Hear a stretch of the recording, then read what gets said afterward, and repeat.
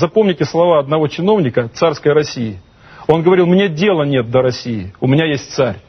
Вот девиз новой власти. Мне, им дела нет до России, у них есть царь. Вы Царь ведете себя был так. пожизненный, Так. а президент избираемый. В восьмом Мы году еще его не посмотрим, изберут. чем кончится Сейчас, его не президентство. Мы еще Не посмотрим. Я считаю, что будет просто тупое оболванивание людей, полная цензура на телевидении и ма- массовые фальсификации выборов. Нам говорят, мало власти.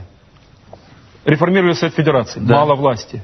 Реформировали закон о партиях, мало власти. Сделали семь округов, мало власти. В четыре раза увеличили военный бюджет. А результат Ма-. Никакого. Хоть. Хуже и хуже. То есть вас поэтому, поэтому я не понимаю. реального результата. Я просто знаю одно, как историк, что в России всегда вертикаль власти и твердая рука кончалась хаосом, войной и разрухой.